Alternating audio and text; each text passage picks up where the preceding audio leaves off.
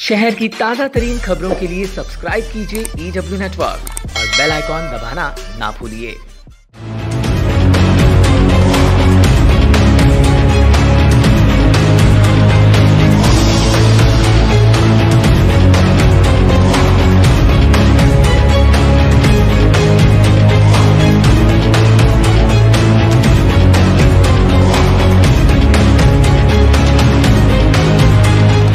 खारगर स्थित इनामपुरी गाँव में एक प्राइवेट प्लॉट पर हाई टेंशन वायर के निकट ही मोबाइल टॉवर खड़ा कर दिया गया।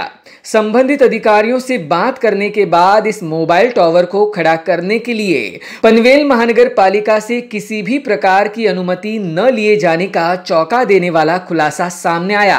क्या बिना अनुमति ही इस मोबाइल टॉवर को खड़ा कर अधिकारियों के आँखों में धूल झोंकी गई, या फिर पनवेल महानगर पालिका अधिकारियों की ही सांठगांठ से इसे खड़ा किया गया? यह सवाल नागरिकों के मन में है।